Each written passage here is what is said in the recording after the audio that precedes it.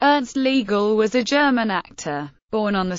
May 1881 in Schlieben, Germany he was the father of the actress Marga Legal. He died in Berlin at age 74. Selected filmography The Mayor of Zalamea The Story of Christine von Herre Charley's Aunt Hundred Days Augustus the Strong Intermezzo The Dreamer Maria the Maid Street Music To New Shores the divine jetta, when women keep silent, the model husband, the roundabouts of handsome Karl, the mountain calls, the journey to Tilsit, Jakko, Andreas Schlüter, Rembrandt, the golden city, the Degenhardts, Das Mädchen Juanita, No Place for Love, The Marriage of Figaro, Career in Paris, Johnny Saves Nebrador,